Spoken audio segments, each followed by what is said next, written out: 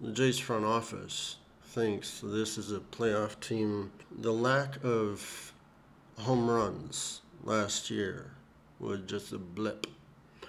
Well, it turns out that blip is regaining strength into this year.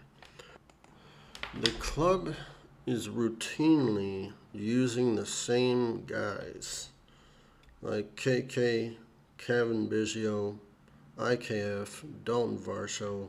Kiermaier has hit one out of 18 at bats and has looked lost. Biggio, one of 10 at bats. IKF and Varsho have combined for one extra base hit this season in seven games. Babe Schneider hits a two run home run and two wins under his belt when he plays. When we use these guys, we're one in five. Lack of power, stealing bases need to be there. Everything that we don't have offensively needs to be there.